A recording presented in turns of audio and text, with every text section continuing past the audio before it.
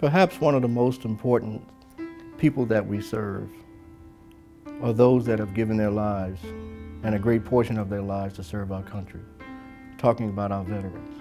I am very appreciative of the fact that uh, we are able to offer them special services for not only for themselves but also for their family members. And when I have the privilege to serve military personnel, it is indeed an honor.